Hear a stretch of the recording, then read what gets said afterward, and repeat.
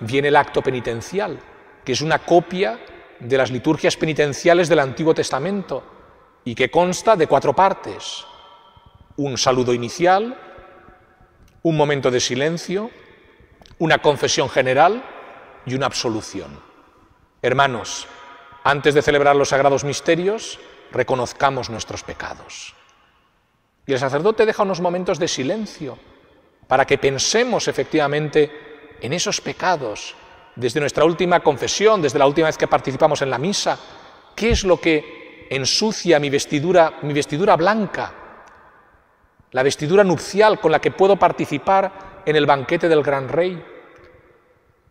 Por eso el sacerdote deja esos momentos para que pensemos cada uno de nosotros en esos pecados. Son unos segundos suficientes para pensar en lo más gordo, por así decir, que nos impide estar con el Señor.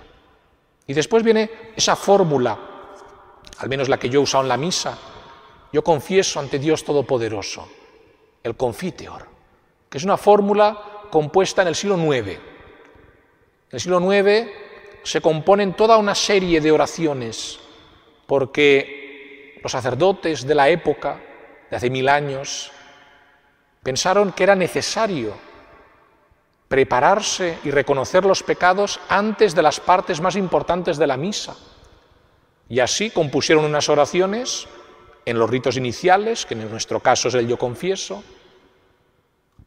hicieron otras para rezar antes de la plegaria eucarística, de las cuales ahora quedan pocas, pero quedan dos, que el sacerdote reza en silencio antes de lavarse las manos y antes de entrar en la plegaria eucarística.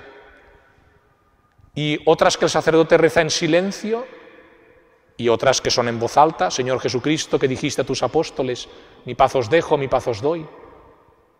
Son oraciones que se compusieron en el siglo IX para fomentar esa penitencia, ese reconocer y ser conscientes de que estamos al inicio de la misa, empezando lo más importante, estamos antes de entrar en la plegaria eucarística, antes de comulgar. Esos momentos en los que vemos al sacerdote en silencio, preparándose para hacer algo, para rezar el Evangelio, para lavarse las manos, para comulgar, no son momentos para consultar el WhatsApp, son momentos para que cada uno de nosotros se prepare a la celebración, se prepare a entrar en la plegaria eucarística, se prepare a comulgar. El sacerdote con sus palabras, nosotros en nuestro caso con nuestras propias palabras, pero nos preparamos en esos tres momentos fundamentales.